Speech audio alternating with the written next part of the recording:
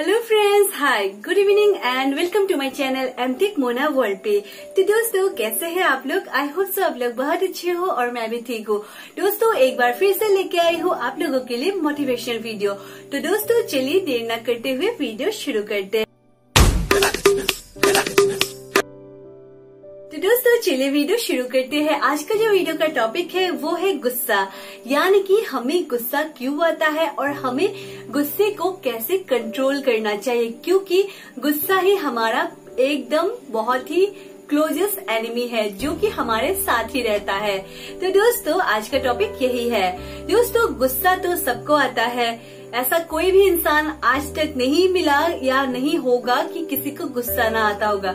हाँ हर किसी को कम या ज़्यादा, वो डिफरेंस है बट गुस्सा सबको आता है। बट उसको हम लोग कैसे कंट्रोल करें, कैसे उसको कंट्रोल में लाके हम अपने गुस्से को कंट्रोल करके हम उससे निपट सकते हैं, ये हमें सोचना चाहिए, क्योंकि हमारी जो गुस्सा है ना, वो हमारा परम शत्रु कहते हैं।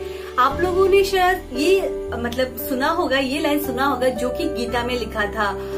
गुस्से, क्रोध का जो, हमारे जो मनुष्य में जो क्रोध आता है ना, वो नरक का द्वार को खोल देता है। यानी कि हमारा जो क्रोध है, हमारा जो गुस्सा है, वो हमारे ही तबाही का कारण बनता है। इसीलिए दोस्तों, गुस्से को हमेशा काबू में रखो। और गुस्सा हमेशा जब भी आए, तब क्या क्या करो, वो भी आज मैं बताने वाली हूँ। दोस्तों, आप लोगों ने शायद जाने मतलब ये सुने होंगे कि जब आपको गुस्सा ज़्यादा आए तो आप एकदम ज़ोर ज़ोर से अपना सांस लो। यानी कि अपनी ज़ोर ज़ोर से आप लोग ऐसे ब्रेथ को मतलब बाहर, जो आपका जो सांस है ना, उसको बाहर निकालो। जैसे हम लोग मोमबत्ती को जैसा फू मारते हैं, उस तरह से हमें सांस लेना चाहिए। तो इसीलिए गुस्से को तीन प्रकार से आप लोग कम कर सकते हैं। जब आपको ज़्यादा गुस्सा आता है, तब क्या होता है कि आपको ऐसा लगता है कि आपका जो रिएक्शन है, उस टाइम ऐसा हो जाता है कि हम क्या बोल रहे हैं हमें पता नहीं चलता। जो ये निगेटिविटी बातें हमारे दिमाग में घुस जाते हैं, जब हमें गुस्सा आ जाता है, हमारे जो दिमाग है ना, उसमें हमें जो बहुत सारे निगेटिव मतलब ऐसे निगेटिविटी हो जाते हैं कि हम लोग इतने सारे नेगेटिव मतलब बातें कह जाते हैं, इतने सारे नेगेटिव वर्ड कह जाते हैं कि हमें तब पता नहीं चलता।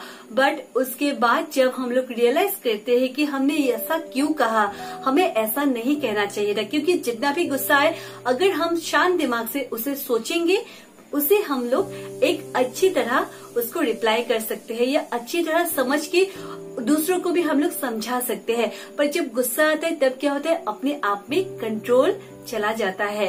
इसीलिए दोस्तों, हमेशा अपने गुस्से को कंट्रोल करना सीखो। हमारा क्या होता है, हम जब छोटे से मतलब अगर हम लोग छोटे थे, उस तब से अगर हमारा दिमाग में अगर गुस्सा मतलब भरा रहेगा, तब क्या होता है, हम लोग जब बड़े होते तब गुस्सा और भी ज़्यादा हो जाता है। इसीलिए अपनी जो चाइल्डहुड लाइफ होते है, उसमें हमेशा हमें गुस्से को कैसे कंट्रोल करें, गुस्सा नहीं करना है, कैसे हम लोग शांत रह सकते उसको सिखाना चाहिए या वैसा माहौल होना चाहिए। कभी कभी ऐसा हो जाता है, हमारा एनवायरमेंट ऐसा रहता है कि हम लोग अपने जो गुस्सा है ना, उसमें रिलेटेड होता है। बहुत सारे लोगों का ऐसा रिलेटेड है जो अपने चाइल्डहुड मेमोरीज हो, या किसी भी कुछ मेमोरीज हो, जिसमें उसका गुस्सा रिलेटेड है। और कुछ भी बात अगर आप कहते हो तो वो नेगेटिविटी सेंस में लेकर आपको गुस्सा करेगा। आप जितना भी उससे मतलब क्लोज नहीं हो फिर भी आपको वो ऐसे कुछ बातें कह देगा बाद में वो पछताता है। बट सामने वाले को इतना मतलब गलत तरीके से बोल देता है कि बाद में उसको रियलाइज़ होता है कि उसको कितना हर्ट हुआ होगा। तो दोस्तों इसके इसके लिए आपको मैं आज तीन उपाय बताने वाली हूँ। जो है आप अपना सांस ज़ोर ज़ोर से लो। या, यानी कि ब्रेथ जो आपका ब्रेथ है ना इसको जैसे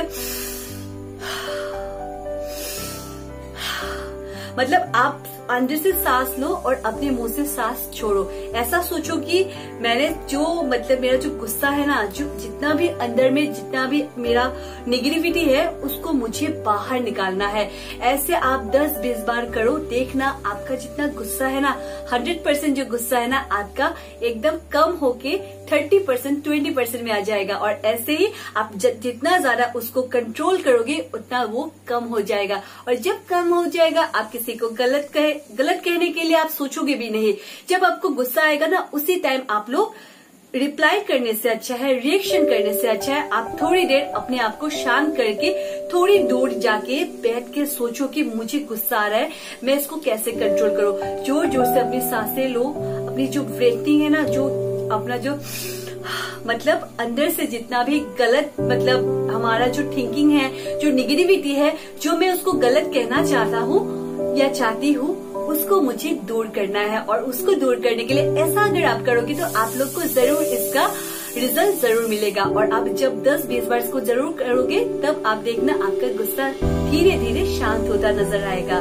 ये था फ़र्स्ट सेकंड है आप अपने जो मेक ए रिसोल्यूशन यानी कि इसका एक बहुत अच्छा एग्ज़ाम्पल है, जो कि महात्मा गांधी से रिलेटेड है।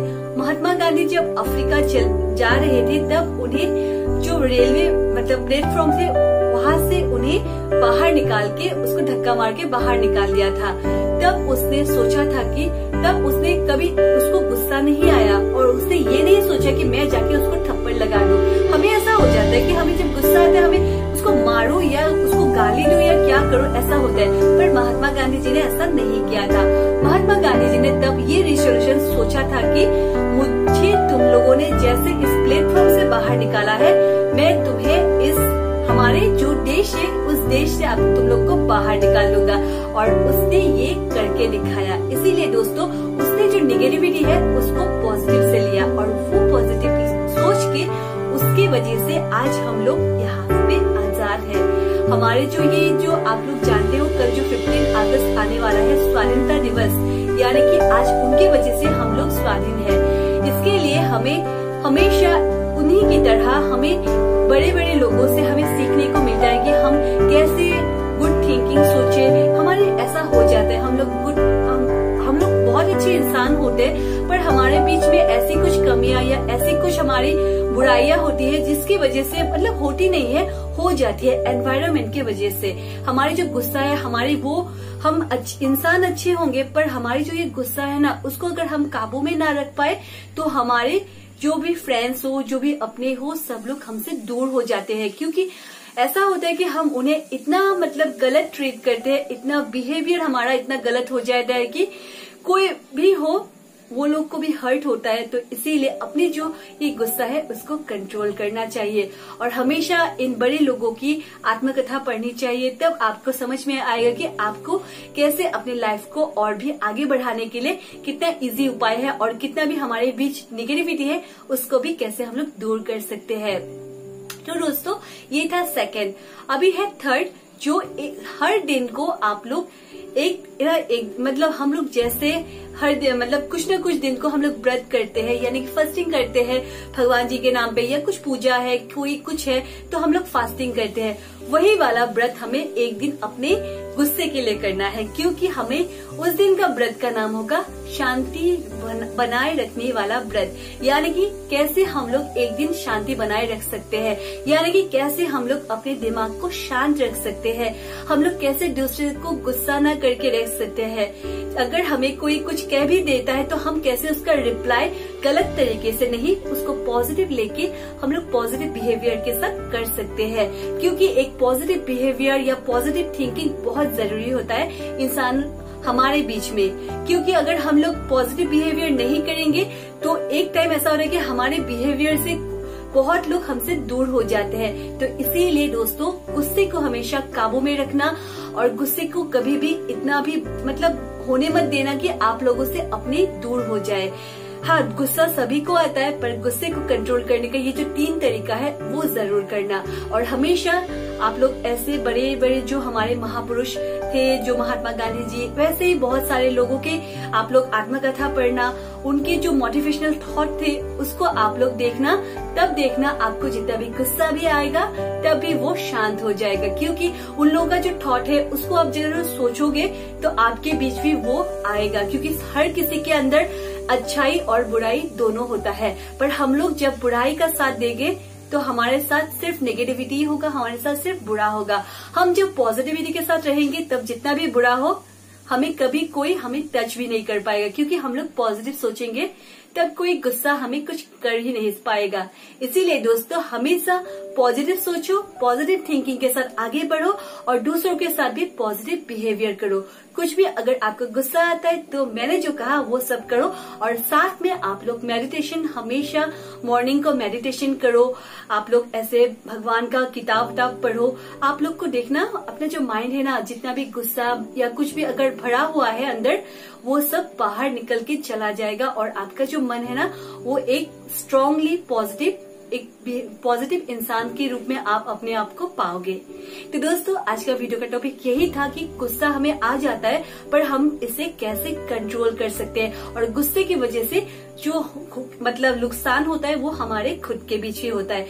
तो इसीलिए दोस्तों अपने आप को अप, अपने आप की जो गुस्सा है उसको कंट्रोल करना सीखो अपने आप को शांत रखो और अपने जो एनवायरमेंट है वो भी हमेशा शांत रहेंगे। तो दोस्तों आज का वीडियो का टॉपिक यही था। Okay friends thank you and अगर आपको मेरा वीडियो अच्छा लगा तो प्लीज़ एक लाइक और कमेंट ज़रूर कर देना। कैसा लगा बताना मत भूलना। Okay friends thank you bye and good night